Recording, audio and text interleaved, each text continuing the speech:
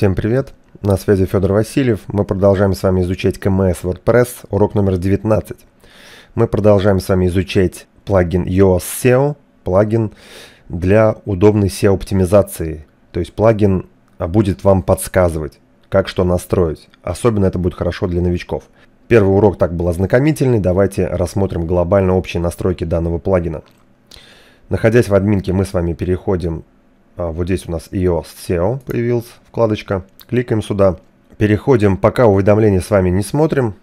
А, переходим с вами на вкладку «Общие».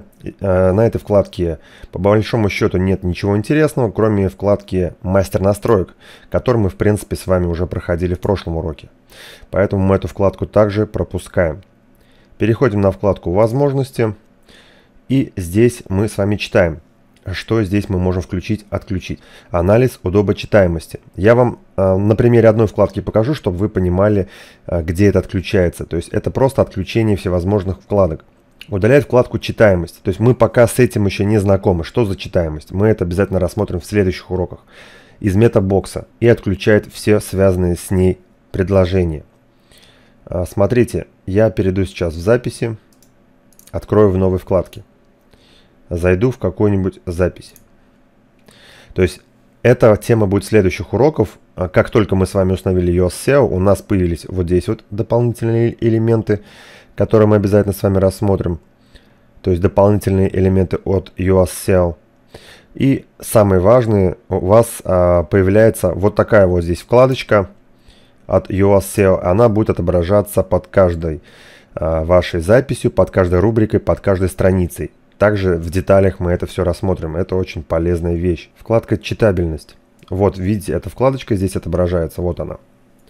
То есть, например, если мы ее хотим отключить, нажимаем вот здесь на кнопку «Отключено» и в самом низу нажимаем «Сохранить изменения». Идем сюда и обновляем страницу и видим, что вкладка «Читабельность» у нас исчезает. То есть здесь просто отключение ненужных вкладок. Но вообще эти вкладки, они здесь все нужны, поэтому мы эту вкладку читабельность обязательно оставляем включенной. Ниже, вот здесь вот нам тоже представлено отключить полезную вкладку, мы также ее не трогаем. А, здесь, на этой странице, мы лишь включим, вот здесь вот смотрите, дополнительные настройки. То есть по умолчанию эта вкладка отключена. Что она дает? Обратите внимание вот в эту часть в плагин Yoast SEO у нас здесь нет больше ничего. Как только мы ее здесь включаем и нажимаем «Сохранить изменения», у нас вот здесь появляются самые важные настройки данного плагина, которые мы обязательно рассмотрим в следующих уроках. Единственное, чтобы я здесь отключил, например, вот как только плагин мы установили, в верхний сайдбар у нас выводится сам Yoast SEO с уведомлениями и другими параметрами. Если вам не нравится, что он здесь а, выводится, потому что мы в любой момент сможем попасть в наш плагин и посмотреть все уведомления, настройки и так далее. В общем, если он вам здесь не нужен, то вот здесь вот меню панели администратора мы отключаем, сохраняем. И вот здесь вот в сайдбаре это у нас убирается. То есть это очень удобно. Также, если мы перейдем на фронтальную часть сайта, здесь она также отображается для нас, для администраторов. Если здесь обновим, здесь тоже она исчезает. Далее мы переходим на следующую вкладку «Информация о вас». Мы с вами уже проходили, а, вы видите здесь заполнено, а, это быстрый мастер настроек, да. Все это, все это, это базовая микроразметка, которая очень важна для Google. Поэтому вы видите, что у меня здесь все заполнено. Частное лицо, Федор, то есть мы с вами это уже затрагивали. Единственное, здесь альтернативное а, название, нужно латиницей прописать ваше название у меня будет это вот такого плана. Сохранить изменения. То есть обязательно, обязательно мы здесь все заполняем.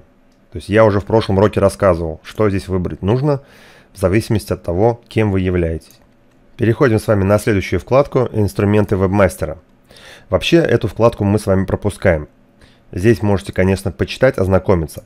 Вот эти действия мы с вами произведем, когда перенесем наш сайт на реальный хостинг и после мы будем добавлять наш сайт в поисковые системы Яндекс и Google через файл, который будет размещаться в корневом каталоге нашего сайта. Это будет более безопасно и правильно. То есть это идет как бы аналог, замена данного действия. Вот именно здесь в Yoast SEO. Но мы э, это делать не будем, да, сделаем это потом. Дальше мы переходим на вкладку с вами «Безопасность». Здесь также все описано. Расширенная часть блока US SEO. И вот здесь вот описание. Расширенная часть блока US SEO позволяет указывать атрибуты noindex для записей и изменять канонические адреса. Если вы не доверяете своим авторам, ну и так далее, тут прочитайте. Я вам э, от себя скажу, если у вас на сайте несколько авторов, которые публикуют записи на вашем движке WordPress, то вы решаете, если вы не доверяете авторам, они могут либо случайно в записи noindex поставить. Noindex это значит а, попросить поисковую машину не индексировать данную запись. Вот вам надо, чтобы с этими параметрами люди были аккуратны, да. Соответственно, тут уже вы сами смотрите, отключить для авторов, э, други, других авторов ваших на вашем сайте данную опцию или нет. То есть вот это вот атрибут noindex, да. То есть по умолчанию отключено, если включить, то у пользователя вашей должна появиться расширенная часть блока US SEO. Если мы с вами перейдем э, в запись, добавить новую, то под записью, если мы кликнем вот на эту шестереночку, здесь как раз таки есть мета, мета robots follow. То есть по умолчанию стоит follow, значит следовать по ссылке, то есть переходить, индексировать. No follow только в том случае ставится, да, а, если нам действительно нужно данную статью, чтобы не индексировали, не видели. Соответственно, в выдачу эта а, запись не попадет, никто ее не увидит именно с поисковой системы. На самом блоке сайте WordPress данная запись будет выводиться, но индексироваться она не будет, если выбрать nofollow. Также канонические адреса, для вас, наверное, это еще не знакомо, а позже рассмотрим, да, вот здесь написано. Вот этот канонический URL, адрес, также показывает ли а, вашим писателем да, на вашем блоге. Итак, общие настройки мы с вами просмотрели, но это только малая часть плагина Yoast SEO. В следующих уроках продолжим изучать плагин Yoast SEO. Тут достаточно много интересного и полезного. Я бы даже сказал, самое важное и полезное еще впереди. Надеюсь, для вас был урок интересен и полезен. На этом здесь все, и я вас жду в следующем видео. Пока-пока.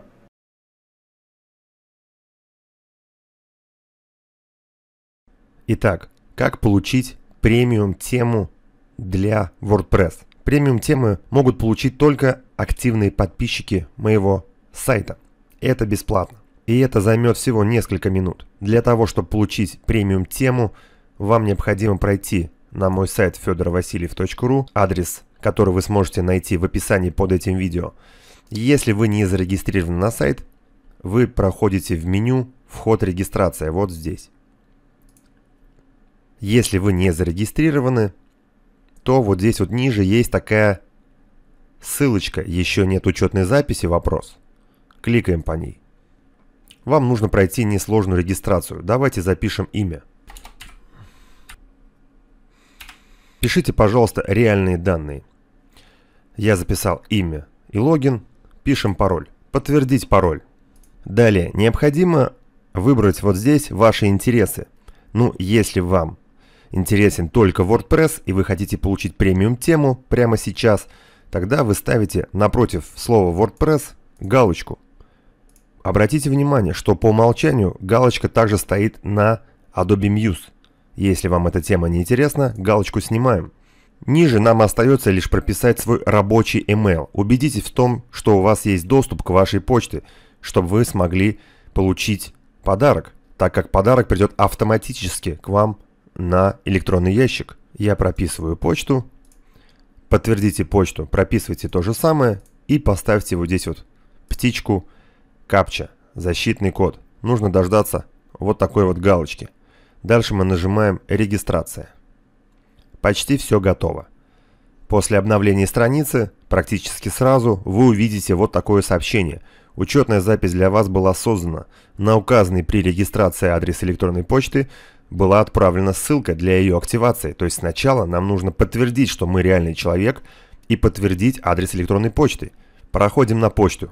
Моментально приходит письмо с ссылкой для активации вашей учетной записи. Заходим в письмо, а видим вот такое вот приветственное письмо. Здесь также указан ваш логин и пароль. Ниже вы сможете также ознакомиться с другими моими обучающими материалами. Но сначала вам необходимо кликнуть вот на эту ссылку. Кликаем на нее один раз. Вас перебрасывают на мою страницу fedorvasильев.ru уже вот с таким сообщением. Сообщение. Премиум тема ВП, значит WordPress, в подарок. Успешно отправлено по адресу. То есть на тот же электронный ящик отправлено еще одно письмо уже с вашим подарком. Проходим обратно в электронную почту. Заходим во входящие и видим вот такое вот письмо. Внимание! Если это письмо не пришло сразу, подождите 10 минут. Если письма не придет, проверьте папку спам. Если и там его не будет, только тогда напишите мне на почту. Почта также указана под каждым роликом моим в YouTube или почта указана на сайте на моем fedorvasiliev.ru. Пишите мне на почту, и я в ручном режиме отправлю вам письмо. Кликаем по письму премиум тема ВП в подарок и вуаля, вот ссылка на закачку темы. Кликайте на нее и скачивайте тему себе. Я вас поздравляю. Теперь информация для тех, кто уже был ранее зарегистрирован у меня на сайте и хочет также подписаться на рассылку WordPress и получить премиум тему. Что делать вам? Вы также на моем сайте нажимаете «Вход» и «Регистрация». Если вы уже зарегистрированы, вводите свой логин и пароль, нажимаете «Войти». Прокручивайте страницу в самый низ. Здесь внизу находите ссылку «Управление подписками». Кликайте по ней. Прокрутим чуть ниже. Здесь мы также можем подписаться на любую рассылку, которая нас интересует. В данном случае это WordPress. Вы просто ставите вот здесь вот «Да» и нажимаете ниже кнопку «Сохранить изменения».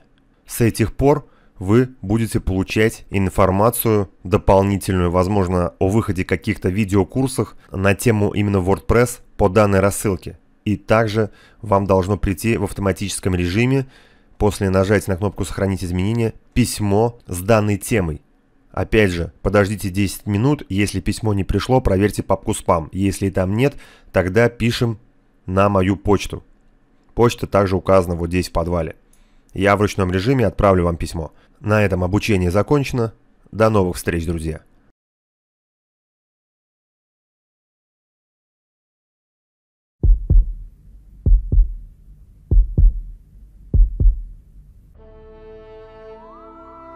Если вы уже стерли пальцы в поисках хорошего качественного хостинга для вашего лендинга на Adobe Muse или сайта на Joomla, неважно, то сейчас я вас хочу познакомить с замечательным хостингом под названием Hostik. Сам пользуюсь данным хостингом уже много месяцев и очень доволен. Главное примечание хостинга – тестовый период 30 дней. 30 дней вы сможете пользоваться хостингом абсолютно бесплатно. Второй, очень важный момент – возврат денег в течение 45 дней, если вас не устроят услуги хостинга. Готовый КМС – 3 года на рынке. Молодой хостинг – это очень важно. Онлайн-поддержка на высоте – Перейдя на хостик, вы сможете увидеть в правом нижнем углу вот такой вот прямоугольник. Это онлайн-чат. Круглые сутки трепетная служба поддержки готова отвечать на ваши вопросы и даже ночью. Лояльные цены, мощные сервера. Если вы совсем новичок и ваш сайт уже расположен на каком-то хостинге, но он вам не нравится, служба поддержки готова бесплатно перенести ваш сайт к ним у них есть замечательная акция – 3 месяца бесплатного хостинга. Ознакомиться с данной акцией вы сможете, перейдя на этот хостинг.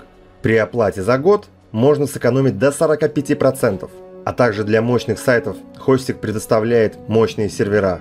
Вы меня знаете, я вам плохого не посоветую. Итак, если вас заинтересовало и вы хотите ознакомиться с данным хостингом, ссылочка под этим видео.